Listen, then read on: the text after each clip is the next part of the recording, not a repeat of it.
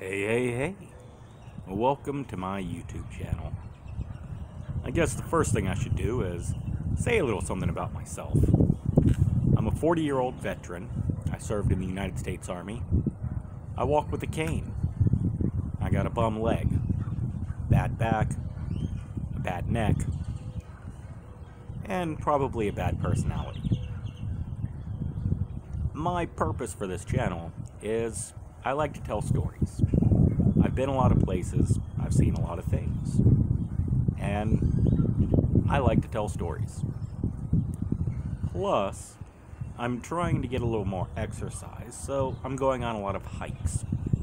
I also have a bike, and I live in the desert, and it's beautiful, and I would love to film some of my rides.